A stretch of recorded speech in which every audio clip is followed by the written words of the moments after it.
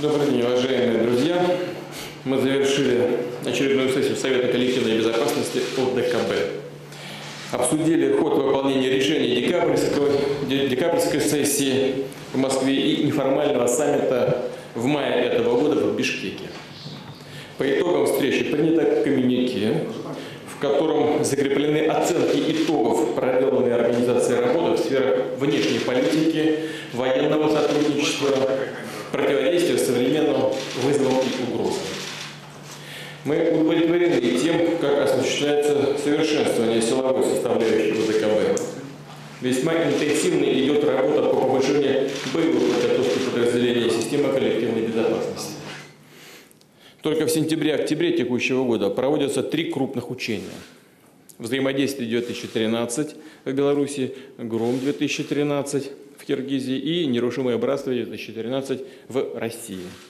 Эффективным инструментом борьбы с современными вызовами стали регулярные регулярно осуществляемые ВТКБ операции по борьбе, по борьбе с наркотрафиком, нелегальной миграцией, преступлениями в информационной сфере – Большое значение придаем одобренному сегодня плану мероприятий по выполнению основных направлений развития военного сотрудничества государств ОДКБ на период до 2020 года. В ходе заседания принято решение по организационным и административно-финансовым вопросам деятельности организации. Одобрен ее бюджет на 2014 год. Была обсуждена ситуация в Афганистане с учетом намеченного на 2014 год вывода из этой страны войск международной коалиции. К сожалению, есть основания полагать, что интенсивность афганского наркотрафика, активность террористических группировок значительно будут возрастать. Уже сейчас экстремисты пытаются распространить свою деятельность на соседние страны, включая территорию центральноазиатских государств-членов ОДКБ.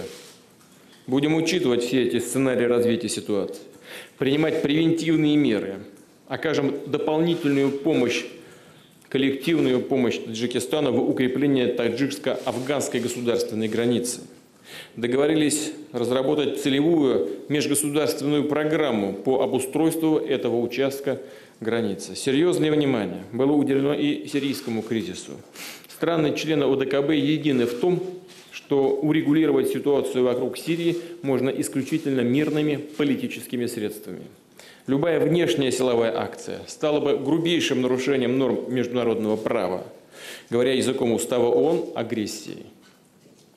А такой сценарий неизбежно приведет к дальнейшей дестабилизации обстановки в самой Сирии, да и в целом в регионе Ближнего Востока. И может оказать негативное влияние на ситуацию в зоне ответственности нашей организации. Признательны партнерам по ОДКБ за поддержку усилий России по мирному урегулированию кризиса, за поддержку российско-американских предложений в отношении сирийского химического оружия. Важно использовать все возможности для прекращения насилия в Сирии, запуска диалога между властями и оппозицией. Именно такая консолидированная позиция закреплена в принятом заявлении стран-членов ОДКБ по Сирии. На нынешней сессии председательства ОДКБ перешло от Киргизии к Российской Федерации до следующего заседания СКБ в 2014 году. Мы представили партнерам приоритеты своего председательства – Цель данного документа – дальнейшее повышение эффективности деятельности организации. В числе намеченных шагов – укрепление безопасности на внешних границах в зоне ответственности организации, совершенствование оперативной и боевой подготовки подразделений коллективных сил. Кроме того, мы предлагаем сосредоточиться на подготовке миротворческих контингентов ОДКБ, а также на борьбе с наркотрафиком, пропагандой терроризма и религиозного экстремизма. Считаем важным наращивание внешнеполитической координации между странами-членами ОДКБ.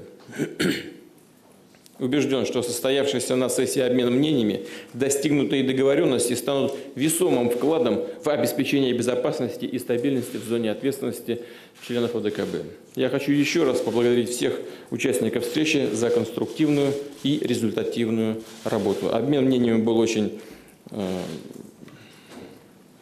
интенсивным, очень заинтересованным и откровенным. Благодарю вас за внимание. Спасибо большое.